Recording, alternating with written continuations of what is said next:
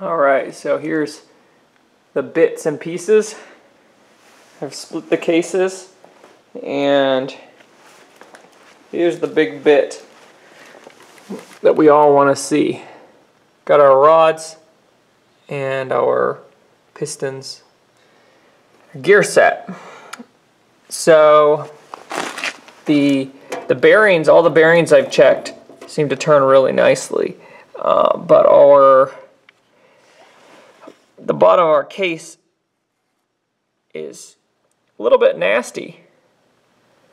Uh,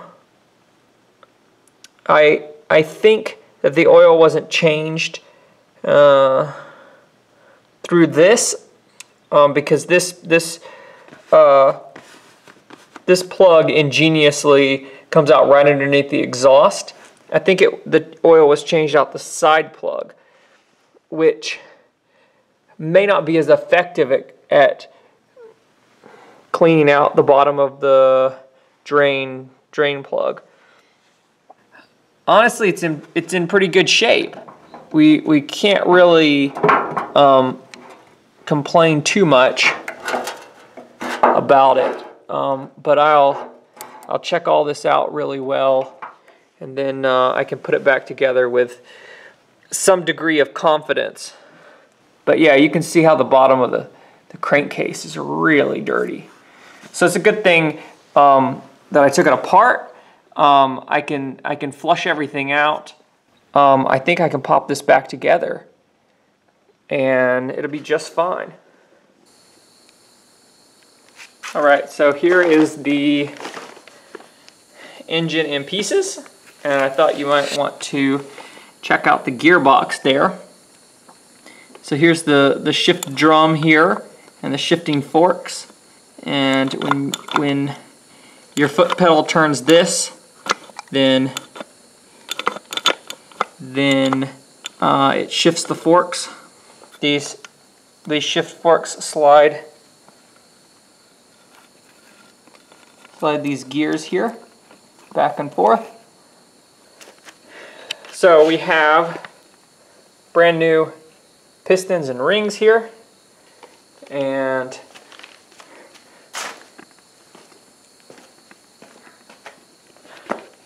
bearings are all greased up.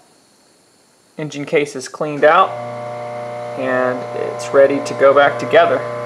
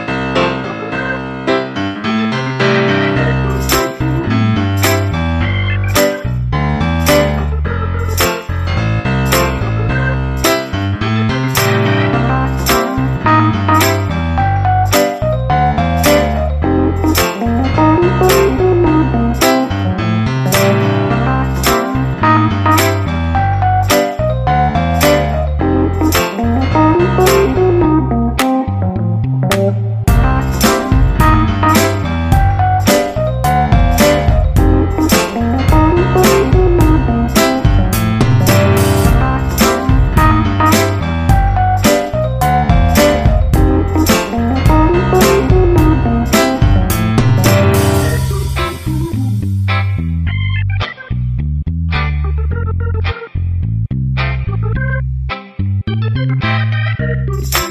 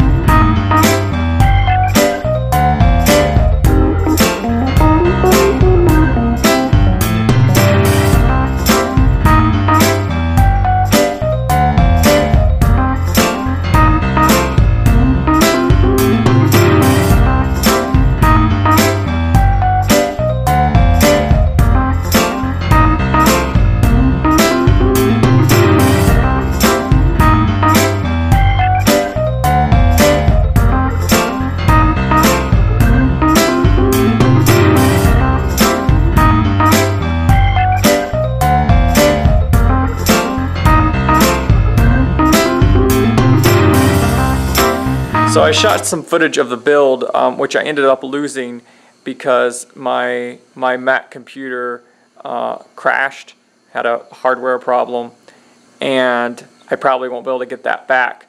So I just wanted to show you a little bit about what I'm doing and why I'm doing it. So right here is the the engine that I got the parts off of.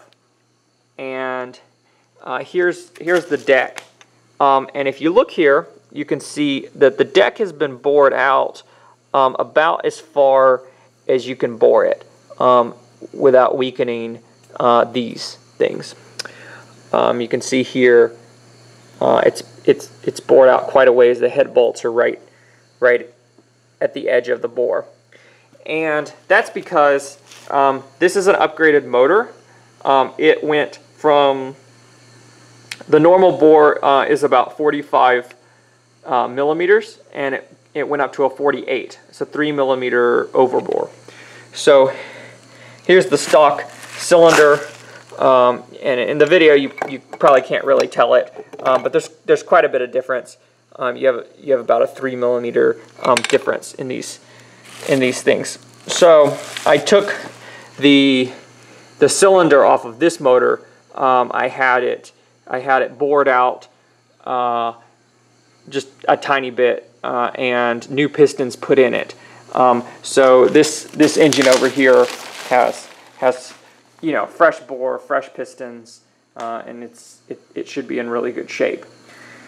And funny story, um, I started putting this engine back together, and I just thought I'm just going to slap these bigger uh, cylinders onto this block, no problem. Well, I started putting it, it together, and I and I I put these two halves together uh, before I realized that the the the bore had been cut uh, bigger, and I had the stock bore in this engine. Um, and so I had to take everything apart again, pull out the gear sets and the crankshaft, and send it back to my mechanic um, to be bored out again. So that was a little bit annoying, a little bit time consuming. Um, but it's all done and it's looking pretty good.